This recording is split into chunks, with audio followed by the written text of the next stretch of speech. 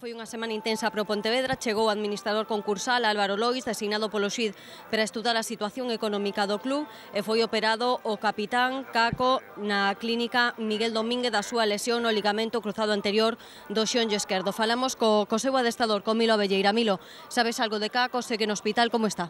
No, Caco está aí ayudando al equipo ahora mismo, ya fue operado esta semana, pero bueno, cuando salió ya del hospital ayer a la noche, o ayer ya dijo que hoy iba a estar aquí con los compañeros, estará lo que pueda aguantar, eh, porque bueno, claro, tiene la operación aún muy cercana y, tiene que recuperarse bien, ¿no? pero va a estar ahí dando aliento hasta que salga el equipo para jugar, pues va a estar con nosotros. Está bien, todo salió muy bien, está muy contento y como siempre, pues eh, dando todo para el equipo hasta en el último momento, ¿no?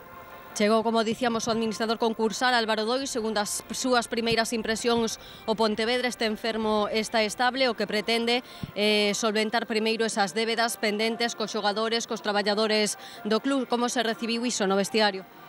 Bueno, pues bien, ¿no? Ayer también estuvo el presidente hablando con nosotros y el abogado que lleva en el caso y yo creo que tranquilizando a todos los jugadores sabiendo que, que aún hay algo de dinero ahí, que, se, que puedan ahora para cobrar todo el mundo de lo que se debe y con trabajar con el optimismo que hay que trabajar, ¿no? pensando que estamos muy cerca de esos cuatro primeros eh, puestos, que es lo que queremos todos.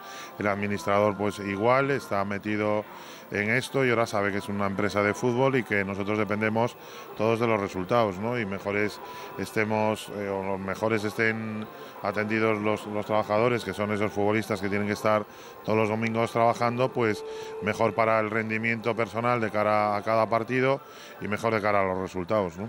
Pasou vos factura esa derrota no, no Couto? Sí, está claro que los primeros días y hoy sobre todo al mejor al principio, pues la gente no va a estar con nosotros como como suele estar, pero yo creo que en los primeros minutos ya se van a olvidar y van a animar, como siempre, al equipo para conseguir tres puntos ante un rival que también tiene gente muy buena, con gente ahí atrás que sabe jugar sobre todo en corto, como puede ser Jesús, en el medio centro, pues esos dos medios centros que pueden llegar con balón bien arriba y arriba sabemos que tienen esos tres jugadores que de gran velocidad que si no estamos muy concentrados pues nos pueden hacer mucho daño, ¿no? Falas de que un Negreira que pode ser un rival incómodo, pero pero gañastes ya en primeira volta por, por 0 a 3 ali no García Calvo. Ya, pero uh, en los partidos todos son, son distintos. A mí nosotros íbamos a Orense diciendo que todo el mundo que, que Lorense estaba muy mal, muy mal y, y nos pudo golear, ¿no? Entonces es, yo creo que todos los partidos son distintos, tenemos que vernos nosotros aquí, a ver cómo salimos de enchufados al campo, cómo podemos trabajar bien, a ver si estamos más precisos en todo lo que es el juego ofensivo y llevarlo bien hacia, hacia la portería adversaria, que es lo que queremos. ¿no?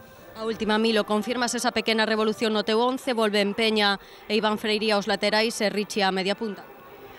Bueno, revolución, a ver, eh, Peña tiene que entrar porque Caco, Caco con, tal como está operado de ligamento, es imposible que esté. Después eh, creemos que en el sentido de, de Iván, pues bueno, es un jugador que está trabajando bien ahora, que está incorporándose bien. Eh, por suerte para él lleva desde hace dos años, debe ser la primera vez que está un mes sin caer lesionado y tenemos que aprovechar esa velocidad que tiene. Eh, Pablo, pues no es que lo estuviera haciendo mal, pero yo creo que en este momento ahora le puede superar Iván. Y después arriba, pues bueno, tenía que ser o David.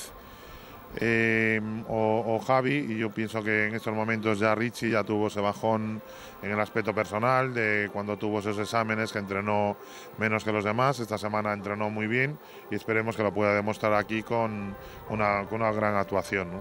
Gracias Milo. A vosotros. Gracias Viviana, las palabras de Milo Avelleires en Pontevedra que arranca